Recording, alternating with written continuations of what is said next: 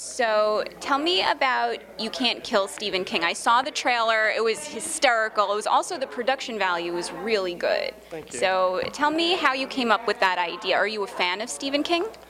I'm a fan, and my family grew up uh, uh, on a lake house on the same lake where Stephen King lives in Maine. And my friend Ronnie and I, who, who co-wrote and co-produced, co-directed with me, we went up there one weekend. It was raining, and I started telling him stories about Stephen King, and we had nothing else to do. We decided let's write a screenplay, and it kind of was a joke. We didn't.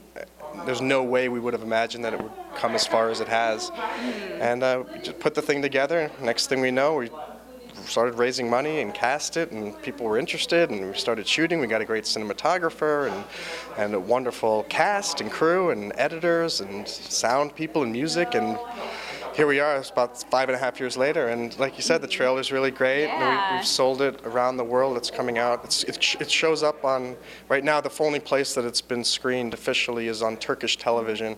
Oh. Like once a week, we get I get an email or something from a from a Turkish fan, and uh, and this summer or this this summer this fall it'll be coming out here in the U.S. Oh, cool. Where in the U.S. will it be coming out so we can see it?